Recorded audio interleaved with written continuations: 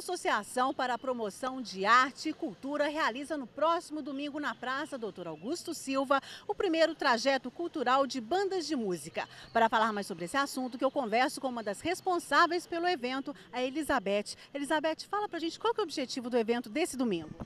O primeiro trajeto cultural de bandas de música, ele vem com o objetivo de abrilhantar a mais uma manhã de domingo do nosso público aqui na Praça Doutor Augusto Silva e juntamente divulgar o nosso projeto de Escola de Música de Lavras com ensino gratuito.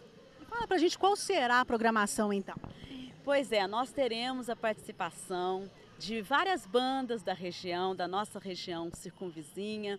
Teremos a participação da banda Dona Veguinha de Nepomuceno, tem também a Corporação Musical Lira Perduense, temos Ibituruna, temos mais uma vez São João Del Rei com a banda de Matuzinhos nos apoiando. E a nossa grande anfitriã, que é a Euterpe Operária, que é a proponente do projeto Em Lavras, Escola de Música no Ministério da Cultura. O interessante é que além das bandas, haverá, haverá, também apresentações artísticas culturais, não é isso? Perfeitamente. A APROAC, que é a Associação para a Promoção de Arte e Cultura, ela está nascendo para amparar os projetos culturais da nossa cidade, amparar os artistas, promover os artistas. Então nós teremos essa, essa participação de artistas lavrenses com sua com, com seu empenho na arte circense, teremos o Malabares, teremos essas pessoas que estão nos apoiando, que com certeza, juntamente com as bandas,